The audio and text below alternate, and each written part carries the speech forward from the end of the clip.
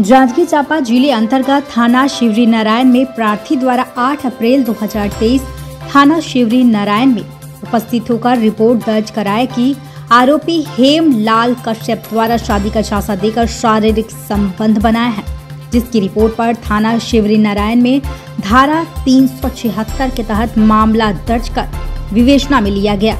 आरोपी घटना दिनांक से फरार था, जिसे दिनांक 18 अगस्त को मुखबीर की सूचना पर शिवरी नारायण में घेराबंदी कर पकड़ा गया।